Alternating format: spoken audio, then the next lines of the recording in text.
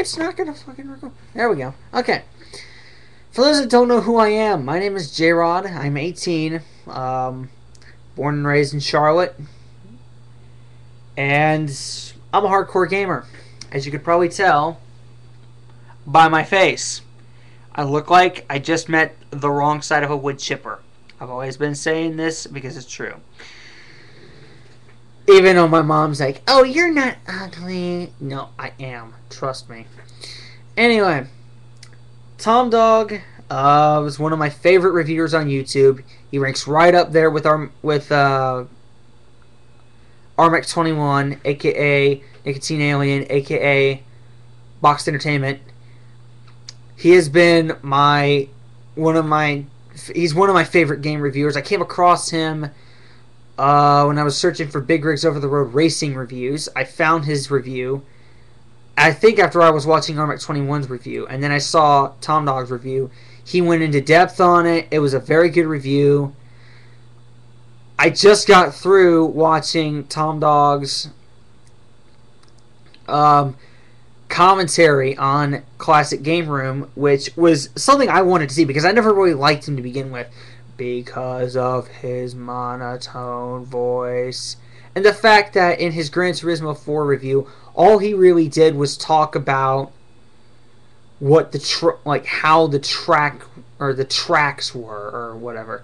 And in his Gran Turismo 5 review, I think in part 3, yes, I have watched classic game reviews, game rooms reviews. I never subbed to him. I just wanted to see something like on the Gran Turismo series. He just had an absolute, just horrible, like, it was, he was bagging on the online play so hardcore. He had a whole part of it, part 3, where he was like, this difficulty setting, like the starting difficulty setting, dri- rewards you for driving like a complete a hole or whatever. I don't, I don't know. You want to, if you want to see it, go right ahead. I don't personally care, but Tomdogg basically bagged on, or not bagged, but yeah, bagged, deservedly, on Classic Game Room, and rightfully so because Classic Game Room, crap reviewer, one of the worst ever. So, Tomdogg, you get major props in my book, and that's mainly why I'm doing this as sort of a response for Ask Tomdogg 8. Because you said that you could not compare NFS, Forza, and Gran Turismo because you had barely played NFS and Gran Turismo and you hadn't played Forza. I'm not trying to get on you and saying you need to play these games. I'm going to, to demand you blah, blah, blah, blah, blah. I'm not that kind of person. I'm just, in order to sort of sort of give my comparison of it, and maybe sort of take the burden off of you in the future if you ever do decide to play those games. Which again, I'm not trying to force you to play them. It's your choice if you want to. I'm gonna review. I'm gonna compare the games myself, and also bring up a couple other racing franchises that I've played because I've played a ton of racing games.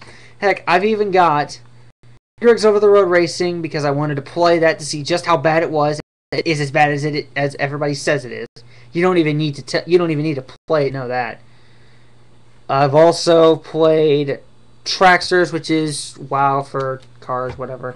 And I have NASCAR Racing 2003 season, as well as Need for Speed Most Wanted on my PC. Now, I do admit that those are two different games. But, you know, I'm just saying, I've got a bunch of racing games. That's one of my main genres. Before I played Guitar Hero, that was my main genre, along with sports games my main genre was racing games. I just loved racing games. I still do. I have Gran Turismo for the PSP. It's back in my PSP, ready to boot up. In fact, I play that game just for kicks to do drive drive laps around and the track around and all the cars I've unlocked, just to get times and just to have fun. But anyways, enough about that. Let's start with Most Wanted. Now, or not Most Wanted, just Need for Speed in general. Need for Speed up till Shift is strict arcade that's basically been what it's that's basically been what the series has been about. It's been an arcade series. It's been an arcade series from the word go. And excuse me. I really love the series. I've been a big fan of it since it came out. Obviously, I've been a big fan of the game. And let me put this down here real quick. It's you know, I've I don't know exactly how I can put it really. It's as I'm trying to organize my cards here, I know I should be doing this live, and now I have to scratch my nose. It's most want or Need for Speed has been about the arcade, and it's super fun. I mean, the drifting, it's not overly arcadey like Ridge Racer. Ridge Racer is strict, strict, strict arcade. This is mainly arcade. But the drifting physics aren't like every time you slide into a turn, even if it's, you know, it's not even, you know, sharp. You know, it it doesn't, you know, it's not like every time, you know, it's I'm not trying to like bash Racer or anything. I'm just saying it's not a complete arcade game, but it's it's it's pretty much an arcade game, but it's not overly arcadey like some games are. And in that respect, you can't really compare it to Forza and GT. Now, Gran Turismo, that's strict sim. Nothing else needs to be said. It's strict sim. It's the ultimate driving simulator. That's the that's what it's been named by the company that made the game themselves. They made the game. They said it's the ultimate driving simulator, and it is. I played Gran Turismo 3A spec. I own Gran Turismo 2 for the PS1, and I have Gran Turismo 4 for the PS2, and for the Gran Turismo for the PSP. And I've played the games, and it's a strict sim. So you can't compare it to Need for Speed. Yet you can't really compare Need for Speed to Forza because Forza is sort of in the middle of the two games. Forza is an arcade racer with sim style attributes. The handling is perfectly dialed in Forza. Specifically in Forza 3. I don't own the game, but I played the demo. It's awesome. And Forza 2 is also awesome. It's this Forza is one of my favorite racing game franchises of all time. So you can't really compare the three. I I say you can't compare the three. You really can't.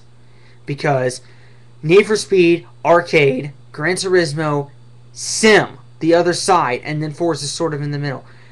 I guess you could compare Forza to Need for Speed or Forza to GT, but you can't.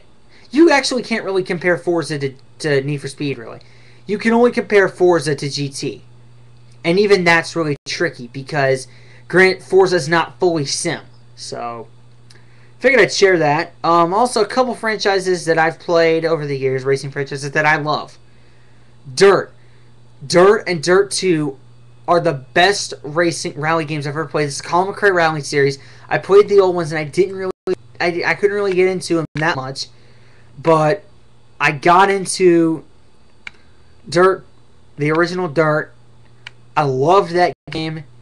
It was a great game, great graphics. Although there was some frame rate stutters great gameplay. There was an online. The online was a big disappointment. You couldn't play against you know you couldn't play against people on the same track. Blah blah blah blah. blah. Not going to go into too many too much detail.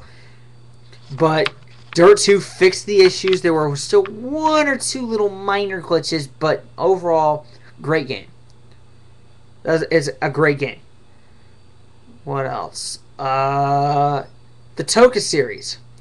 I own TOCA 3 it's one of the deepest racing games I've ever played in terms of the amount of stuff you can do in this game. You can play, you can race rally cars, you can race,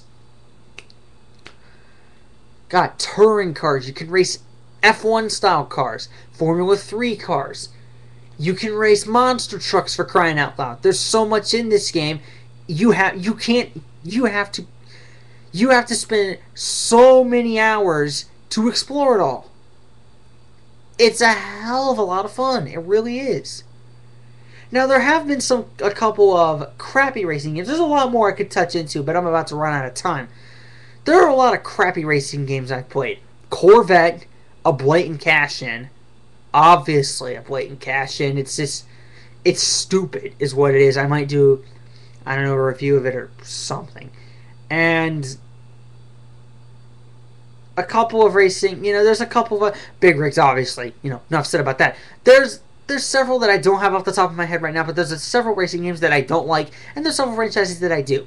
So, just figured I'd uh, touch up on the subject, say that you really can't compare the two, special or compare the three racing games: Need for Speed, Gran Turismo, and Forza. Special shout out to Tomdogg.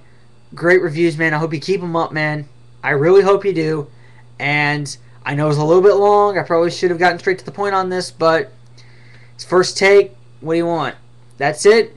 Peace.